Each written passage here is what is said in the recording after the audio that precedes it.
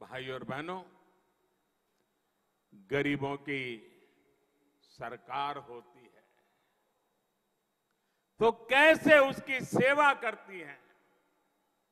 कैसे उसे सशक्त करने के लिए काम करती है? ये आज पूरा देश देख रहा है। सौ साल के सबसे बड़े संकट काल में कोरोना महामारी के इस समय में भी देश ने ये लगातार अनुभव किया है। महामारी शुरू हुई तो गरीब के सामने खाने पीने की समस्या हुई तो हमने देश के अन्न के भंडार देशवासियों के लिए खोल दिए।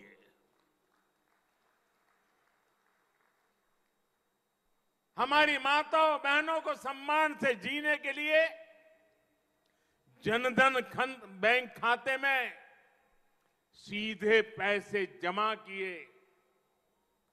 किसानों और मजदूरों के बैंक खाते में पैसे जमा किए। हमने मुफ़्त गैस सिलेंडरों की भी व्यवस्था की ताकि गरीब के घर की रसोई चलती रहे।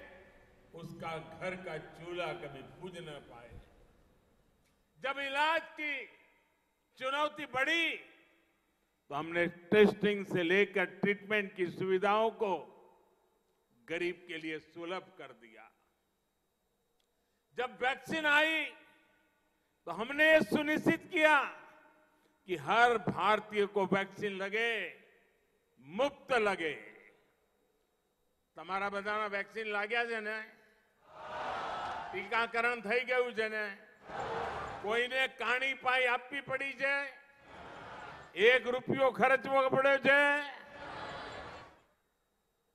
भाइयों बहनों एक तरफ कोरोना का ये विकट समय वैश्विक महामारी और आज आजकल तो आप देख रहे हैं युद्ध भी चल रहा है।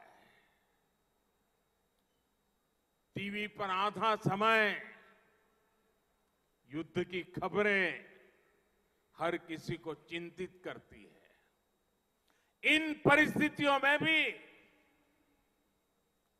हमने निरंतर प्रयास किया कि हमारे गरीब भाई बहन को, हमारे मिडिल क्लास को, मध्यम वर्ग के भाई बहनों को मुश्किल का सामना करना न पड़े।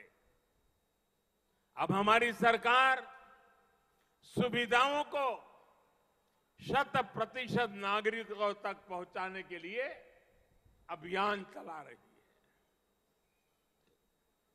जो जिस बात का हकदार है,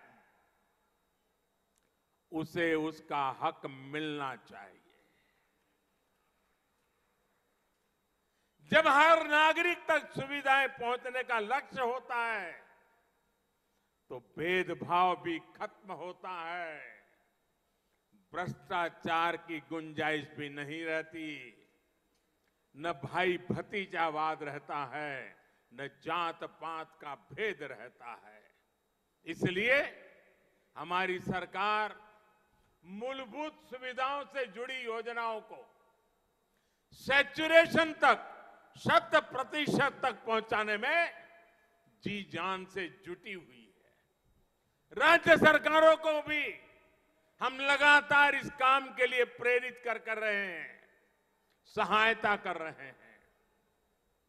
हमारा ये प्रयास देश के गरीब को, देश के मध्यम वर्ग को सशक्त करेगा, उनका जीवन और आसान बनाएगा।